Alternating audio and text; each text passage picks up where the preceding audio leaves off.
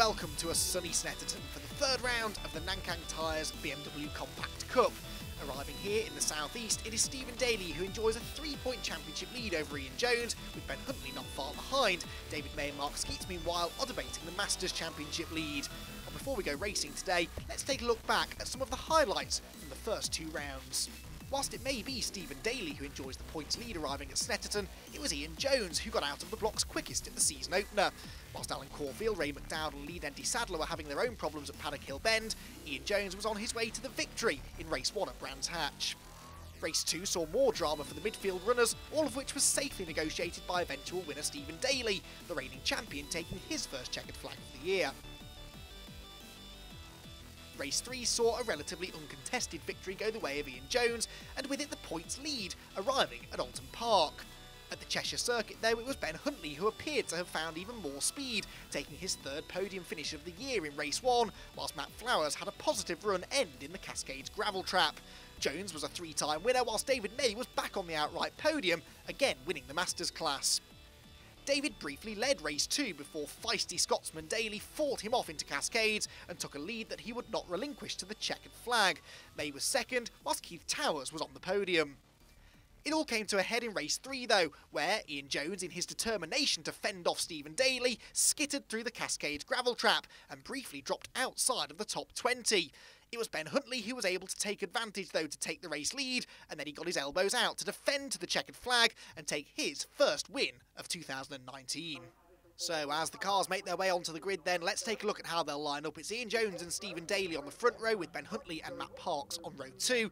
Tom Griffiths and Wayne Flint are on the third row. Luke Browse and David Mayer on row four with Keith Towers and Mark Skeets sharing row five ahead of Paul Maguire and Reese Claydon with his best qualifying effort of the season. Matt Flowers and Oliver Fowler are next, then Mikey Doble and Gordon McMillan with David Sharp and Tom Langford on the ninth row of the grid. Lead Andy Sadler and Will Dave Davison round out the top 20. Then Tim Scott Andrews, Adam Reed, Craig Jameson and Aaron Morgan 24th of 43, remarkably. The Nankang Tyres BMW Compact Cup very much headlining this BRSCC race meeting here at Snetterton, and with good reason. There are 43 cars about to head onto the circuit together. No split grid this weekend, so we could be in for three particularly busy races.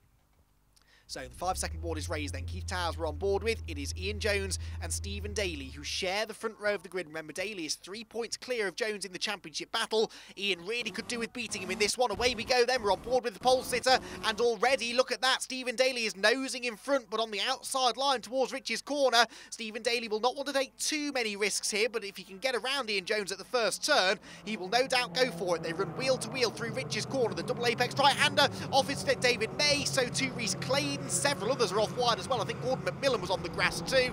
Perhaps unsurprisingly, with so many cars going through the first corner, there were one or two casualties. As at the hairpin, Ian Jones runs out wide. He takes Daly with him, and it looked to me as though that was Matthew Parks who went through into the race lead. Matt Parks, who got his first ever victory in the championship here 12 months ago in fairly fortuitous circumstances, but he had really good pace that weekend too, and he's delivering on that potential again here today by snatching the race lead away in the early stages. Jones is second. It's side by side for third then with Ben Huntley up the inside of Stephen Daly towards Agostini.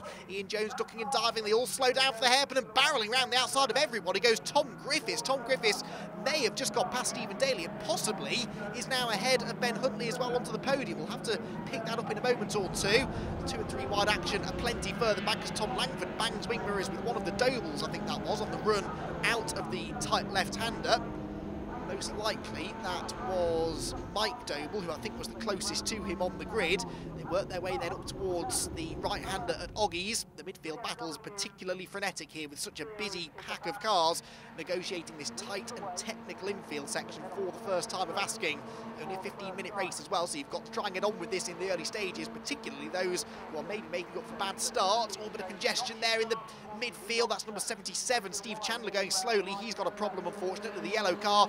For the race lead, it is Matt Parks defending busily from Ian Jones. Huntley is still third then, but Griffiths did go around the outside of Stephen Daly. So right now, if we threw the checkered flag, which thank goodness we're not going to do, there's still plenty more racing to be done, but if we were to throw the checkered flag now, it would be Ian Jones who would take back the championship lead fairly convincingly, actually, from Stephen Daly. And We know that Stephen's a fighter, and he will no doubt try and work his way back onto the tail of the race leader before too much longer. There is Stephen, he's attacking for fourth place for the time being as he tries to find a way past Tom Griffiths. Matt Parks then leading the way, and he's going to lead the first lap of this BMW Nankang Tyres uh, Compact Cup race meeting. Keith Towers are on board with here then. Keith, who is one of the lead Masters contenders this season, really in that battle with Mark Skeets and David May for the title in the Masters ranks but all of those drivers at times have been up there fighting for outright podiums. So too this man, Wayne Flint, in the number 55 car, who works his way through Ridge's corner, runs a bit wide. Wayne Flint, though, looking for his first ever podium, if he can get it. He's a little way away from the podium places for now. With Keith Towers down towards the Wilson hairpin. Paul Maguire, that was, just in front, defending from Luke Browse, and that will still be the order that those two cars find themselves in. And then right behind them, the red and white car of Keith Towers just casually adjusts the rear view mirror on the run towards Palmer's as he tries to keep a grip of who's around him and what they're all trying to do. But as you can imagine, it's easier said than done to keep on top of everything that's going on around you with so many cars on the circuit at the same time. Lots of locking up as Keith Towers goes for third place there at the inside of Ben Huntley. Ian Jones had to go for the race lead and ended up losing momentum, so Huntley tries to go around the outside, gets elbowed onto the dirt. Wayne Flint is joining in as well. It's a six-car battle for the race lead that makes its way towards Hamilton for the second time, and they are so close together that you have to wonder how much longer they can keep this up without some contact being made. Usually the driving standards are really very clean and respectful at the front end of these BMW Compact Cup races, but as you can see with this ultra close competition we're enjoying this year more than ever, arguably, maybe a little bit of uh, paint may be traded on occasion. Stephen Taylor there trying to get a run on Tom Griffiths because he has got this pressure from Wayne Flint behind. Board again here with Keith Towers running down the Bentley straight. That is, I, I think, still ex-Caterham racer Luke Browse in front of him. Luke is receiving tuition this year from TCR UK runner-up last year, uh, Ollie Taylor. Bad drive to have in your camp. And Ollie, clearly his guidance is working because Luke is having a really strong showing this weekend inside the top 10 here. And uh, looking for, I believe, yeah, his first top 10 finish of the season. He was 11th in race one at Oulton Park. That was his best result of the season so far. And of course, they're all benefiting from the battling that's going on ahead of them, keeping this whole pack nicely bunched together. The top two may be starting to escape slightly now from Huntley third, Griffiths fourth, and Daly fifth, with Wayne Flint, then Mark Skeets, then Maguire, then Browse, then Towers, then everybody else in one long queue as they come through to the completion now of the second lap of the race. On board once again with Tom Langford here who has a bit of clean air in front of him by this race's standards. That's got to be one, at least six or seven car lengths to the next pack of cars in front fairly certain he doesn't have a five or six car length advantage over the pack behind him though. Tom hugging the white line down the right hand side of the pit lane there to try and uh, defend towards Ridge's corner where on the exit of Ridge's corner Stephen Daly is attacking for fourth place. He's cleanly up the inside of Tom Griffiths and makes it look easy. So Stephen Daly picks up another place. With it another couple of championship points will go his way. In this relatively early stage of the championship it is still well worth keeping track of these championship points because it is so tight at the top. Just eight points covering the top three. Ben Huntley and Ian Jones though right now looking set to take some points out of Daly potentially. Stephen Daly is coming his knees into fourth place now and looks ominous in the white and black car there, fourth in line. Looks to the inside of Ben Huntley there, who has a big look to the inside of Ian Jones, who I think was trying to get a better exit from Agostini than the race leader Matt Parks. There is Paul Maguire, the black car just behind the yellow car of Mark Skeets, who is one of the leading Masters contenders in this race then, because David May has had a slightly, by his recently high standards, slightly lacklustre weekend so far.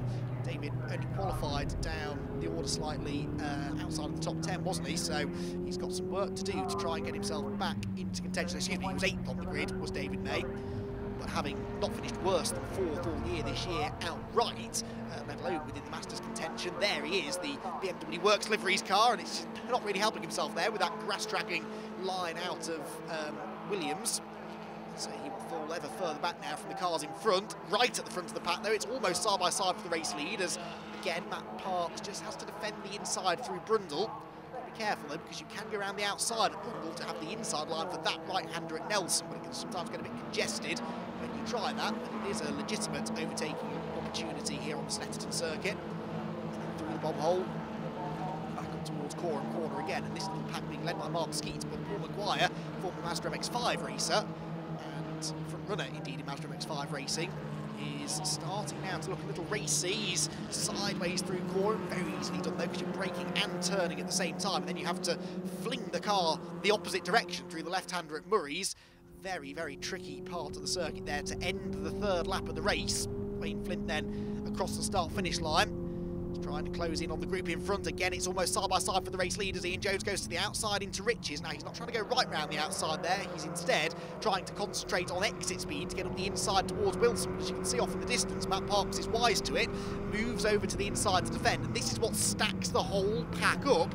And someone will be brave enough to go to the outside. And on this occasion, perhaps unsurprisingly, it's Stephen Daly that tries that, and he's trying to take third place away from one of his big championship rivals, Ben Huntley. That's Keith Towers on the grass with Gordon McMillan up the inside, but the race leaders are starting to jockey for position again, and Stephen Daly actually has not got past Ben Huntley, but instead has Tom Griffiths trying to go round the outside of him. This might not work out, though, for Tom, unfortunately, because he's going to be on the outside line for at least the next two corners as well. Stephen Daly will go back up the inside for fourth, and Wayne Flint might even be able to follow him through here. Wayne's looking to the inside. What about the exit speed for Griffiths on the dirty side of the road? He struggles for traction. Wayne Flint tries to stay alongside towards Hamilton, but he can't quite do it, and so Griffiths hangs on but Stephen Daly there, far from gaining ground, very nearly ended up losing a couple of positions there, and that goes to show just how crucial the, uh, the, these moves are. You have to execute them right. If you go for a move that doesn't work, then it can end up costing you several positions because there are always at least two or three other cars right on your rear bumper waiting to attack. Sometimes it's an advantage actually to be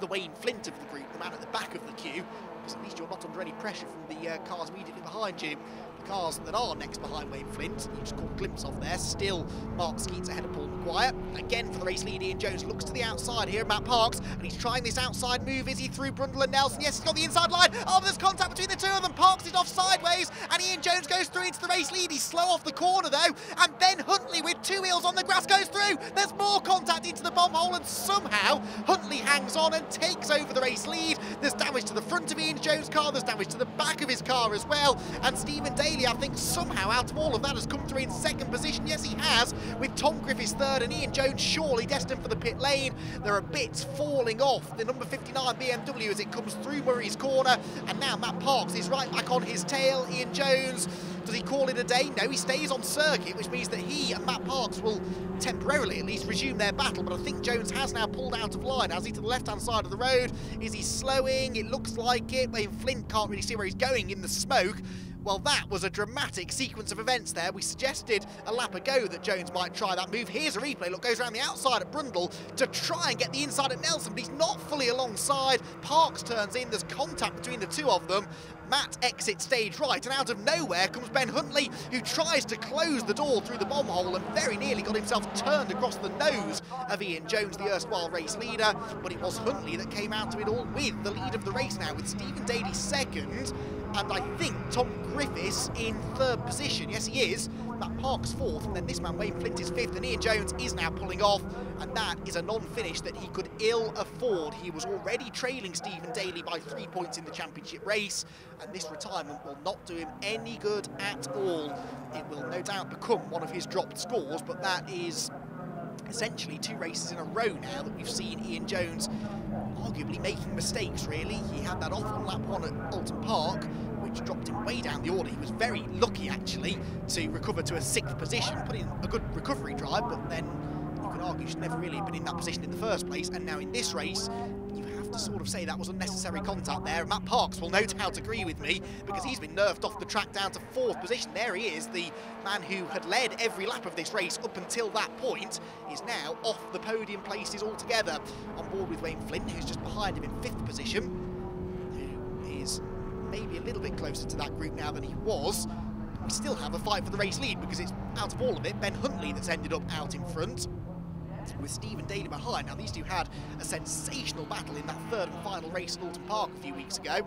A race that Ben won, his first victory of the season, but far from his first podium appearance. In fact, Ben has not been off the podium yet this season. A win, two seconds, and a third place mean that he is now, arguably, with Ian Jones's demise, emerging as Stephen Daly's nearest rival in the championship on to this race victory, he certainly will be his nearest rival in the championship. And Ben, who's been threatening this for a year or so now, ever since he took his first victory last season, and he has—oh, excuse me, his first victory of course was Oulton Park, wasn't it, a couple of uh, uh, weeks ago. You forget actually that he hadn't won a race, he's had a few podiums before this season, but this year really has emerged as a strong championship contender. He's going to have to prove his championship credentials now though, if he's going to keep Stephen Daly and indeed Tom Griffiths and Matt Parks and arguably Wayne Flint behind him because they're all starting to gang up on him again. This uh, Snetterton 300 circuit with its long straights allows lots of slipstreaming and with its big braking zones allows lots of outbraking manoeuvres to be attempted as well. Tom Griffiths attempted one but actually it's Daly that goes through. Oh there's contact, they're both off the road, Stephen Daly and Ben Huntley. I don't believe it, they've both gone off. There's more contact there between Matt Parks and Steve Daly as they go through Palmer's and I think that Tom Griffiths has just managed to wrestle the race lead away from them. Yes, he has. So down towards Agostini and another lead change. Griffiths is out in front, Daly is second, and Ben Huntley could be off the podium because Matt Parks is fighting back around the outside, and Wayne Flint still won't go away either. He's in fifth place. He runs a bit wide though, so won't gain any positions just yet more drama in what has been a drama-filled opening race of the weekend here at Snetterton. The BMW Compact Cup living up to its headline bill here this weekend, and uh, they are thoroughly entertaining the spectators trackside but I don't think that Ben Huntley will be particularly entertained by what just happened because contact between he and Stephen Daly means that both of them have now dropped down. Well, Daly is still second, I suppose, but certainly Huntley has cost him three positions. He's now in exactly the same position that uh, Matt Parks found himself in a lap or so ago after his um, duel with Ian Jones ended in contact. Wayne Flint still fifth as well, just not for the want of trying though. On two or three occasions now, it looked like his look might have been in and he might have been about to jump into a podium position. It's Griffiths that leads then. Daly now runs wide and he's on the grass and this could be maybe Matt Parks' chance to get back up the inside. Yes, he's up the inside towards the bomb hole and Huntley, action replay from a couple of laps ago, goes around the outside, two wheels on the grass and turns into the bomb hole one place higher than he was. This time it's third position with Matt Parks into second, so more changes here that he can keep up with almost. Paul Maguire says this looks like fun, I want to join in. He's closing in too and it will very shortly be five cars for second place, but it is only for second place because Tom Griffiths is taking full advantage of this look to pull away at the front of the field. Parks, Huntley, Daly, Skeets and Maguire look set to debate the lower positions on the podium, but Matt Parks is in the pit lane. Matt Parks, what a promising, uh, well, what a disappointing end to what was looking like a really promising race. Matt Parks is in the pits, potentially damaged from one of the bits of contact he's had in this race. Either way, he will not be on the podium. He will not score any points at all. So, on to the final lap. Someone hide the checkered flag. This has been an absolutely sensational race, and it is not over yet because Stephen Daly is back up the inside for second place now. He's trying to outbrake Ben Huntley into the hairpin. He goes through. He runs a bit wide, though, and look at that. Wayne Flint goes up the inside as well. Wayne Flint, who has never had a podium in the BMW Compact Cup, is into third position. Sensational, opportunistic driving there. And Wayne Flint, who's been stuck sort of watching from the outside in, in fifth position, just wanting to be a part of this battle all race long, has finally been able to take advantage of the shuffling in front of him to get into third position. So, Griffiths leads, Daly second, and now Wayne Flint in third place once more. Look, he's attacking the reigning champion, no less, for second place, but he needs to be careful because Ben Huntley's back up the inside. Bang, bang, they rub, they touch on the exit of the corner. And look at Wayne Flint there as he fights the steering wheel, trying to keep control of the car. He's side by side here into Hamilton. He's on the outside line. He turns in though and holds on to third position. So Ben Huntley, despite the argy-bargy on the exit of Agostini, was not able to lever his way through. And Wayne Flint hangs on to this third position. Will he choose now to settle for third, or does he still think he's got something for Stephen Daly? I reckon, though, the rest of this final lap of the race might actually turn into a defensive drive for Flint rather than an attacking one, because Ben Huntley's had a much better exit from Williams. Goes to the left of the road down the uh, Bentley Straight, then probably goes to the right-hand side again. We can't see him because we're on board with Wayne Flint, but Wayne is driving down the middle of the road. That's the defensive line. Huntley can't get alongside, though, and instead has to watch his mirrors because Paul Maguire is joining in as well. Sensational racing here from the BMW Compact Cup. It has been one of the most entertaining, that's the word I'll go with, races that we've seen for a long time in this championship, and it looks as though Tom Griffiths is going to come out on top for only his second ever win. Remember, he took his first win in a near photo finish at Thruxton last year with Stephen Daly. This one is not quite as close at the flag, but it was equally dramatic the way in which he got the race lead, and Tom Griffiths exits the final corner, and car number 16 will become a two-time winner in the Nankang Tyres BMW Compact Cup. Second place is going to be Stephen Daly for third third place. It looks like it might be side by side, but the checkered flag goes to Tom Griffiths. A fantastic drive to win by 1.7 seconds in the end over Stephen Daly in second, and Wayne Flint hangs on for his first ever podium finish. A brilliant drive there for all concerned. Ben Huntley is fourth. He'll be disappointed with that. I think Paul Maguire, though, gets his first ever top five. Mark Skeets is next. Luke Browse is seventh, ahead of Keith Towers, Gordon McMillan, and David May, disappointingly down in 10th position. Michael, Mikey Doble is 11th, Matt Flowers 12th, Adam Reed 13th, then Craig Jameson and Tom Langford, ahead of David Sharp, Oliver Fowler, Aaron Morgan, and the rest. Remarkably, despite the high action in that race, we only actually lost four cars. Uh, we saw Simon Welch retire on the first lap, Stephen Chandler also retired early on, Ian Jones and Matt Parks both retired after their contact. Whether or not that was the reason specifically for Parks DNF, I'm not sure, but we can certainly say that's why Ian Jones failed to finish. Okay, Tom, congratulations. First win of the year, you must be very happy with that. Over the moon with that. It was a, it was a hectic, chaotic race, but kept our nose clean and, and kept right in there. Okay, and that means you start from pole for the next round. Um, you can look into take another win? Hopefully, hopefully we can get away well at the start and, and keep in front of everybody. Brilliant. All right, good luck with that one. Lovely. All right, Stephen, uh, second place today. Uh, how did that go for you? Uh, it wasn't bad. Um, we're quite happy with the result. Obviously, it's a close championship, so we've just it's just about accumulating points. You know, there's no when you don't need to go for the wins, there's no point. You know, it's just about keeping up there in second, third place, and just just trying to manage the championship that way, uh, which we're doing uh, up to now anyway. Um, so we're quite happy with second. Big thanks to the KC Motorsport guys. It's been awesome um, having them on board again this year, and they're providing me a good car as as they always do. And With Tom Griffiths winning, you got a few more rivals for the championship this year. Tom's naturally fast. His dad puts a hell of a lot of time in the car. Um, and you know it shows out there. It, it, it, really does show how the experience uh, Tom's got out there is just just unreal, and he, he drives like a champion as well.